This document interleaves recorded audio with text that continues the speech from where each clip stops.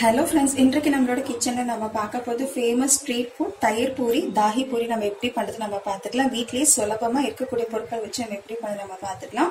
வாங்க கிச்சனுக்கு தயிர் பூரிக்கு பார்த்தீங்கன்னா இங்கே வந்து ஒரு அரைக்கா போல் நல்ல கெட்டியான தயிர் எடுத்து வச்சுருக்காங்க. இந்த கெட்டியான தயிரில் ஒரு அரை டீஸ்பூன் போல் சர்க்கரையும் ஒரு கால் டீஸ்பூன் போல் சீரகத்தூள். இது ரெண்டுத்தையும் நல்லா கலந்துடலாம்.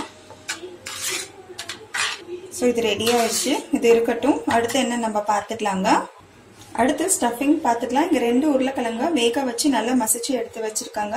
இந்த மசிச்ச உருளைக்கிழங்குல ஒரு அரை டீஸ்பூன் போல் மிளகாய்த்தூள் கால் டீஸ்பூன் போல் சாட் மசாலா அதே கால் டீஸ்பூன் போல் சீரகத்தூள் தேவையான அளவுக்கு உப்பு கடைசியாக கொஞ்சமாக கொத்தமல்லி இது எல்லாத்தையும் நல்லா மிக்ஸ் பண்ணிடலாங்க இது நல்லா மிக்ஸ் பண்ணியாச்சு. இப்போ ஸ்டஃபிங்கும் ரெடி இது இருக்கட்டும். அடுத்து நம்ம க்ரீன் சட்னி ரெடி பண்ணிக்கலாம்.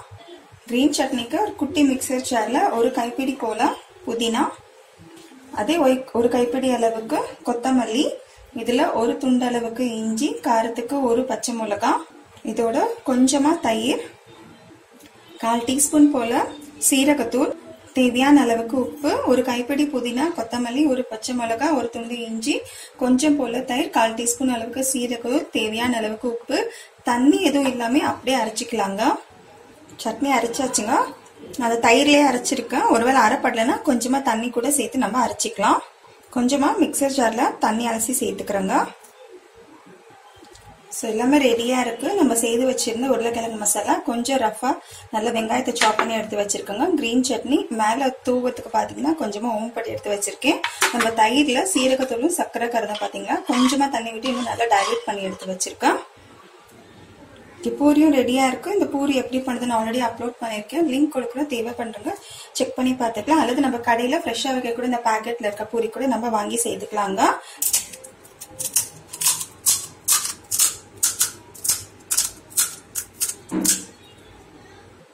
பூரியை நல்லா மேலே உடச்சி வச்சிருக்காங்க. இதில் நம்ம ரெடி பண்ணி வச்சிருக்க உருளைக்கிழங்கு ஸ்டஃபிங்கை சேர்த்துக்கலாம். இதுக்கு மேலே நம்ம ரெடி பண்ணி வச்சிருக்க அந்த ஸ்வீட் தயிர். கொஞ்சம் கொஞ்சமாக அடுத்து இதில் நம்ம ரெடி பண்ணி வச்சிருக்க க்ரீன் சட்னி. நான் இன்னைக்கு கட்டா மிட்டா சட்னி நம்ம பண்ணல. நான் வெறும் க்ரீன் சட்னி வரைக்கும் வச்சு நான் இன்னைக்கு செய்து காட்டியிருக்கேன். ஸோ வீட்டில் இருக்கக்கூடிய பொருட்கள் வச்சு நம்ம வந்து இந்த தஹி பூரி ரெடி பண்ணியிருக்கோம் இதுக்கு மேலே நம்ம ரஃபாக சாப் பண்ணி வச்சுருக்கோம் வெங்காயம். ஆல்ரெடி நம்ம சேனலில் மசாலா பூரி அப்லோட் பண்ணியிருக்கேன் லிங்க் கொடுக்குறேன். செக் பண்ணி பார்த்துக்கோங்க. இதுக்கு மேலே இன்னும் கொஞ்சம் க்ரீன் சட்னி. சும்மா கொஞ்சம் கொஞ்சம் சேர்த்துக்கிட்டா போதும் இதுக்கு மேலே ஓமப்பொடி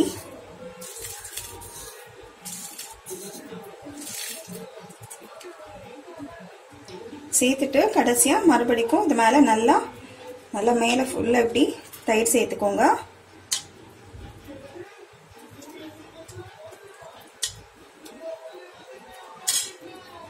இதுக்கு மேலே நல்லா சாட் மசாலாவை நல்லா ஸ்ப்ரிங்கிள் பண்ணிக்கோங்க.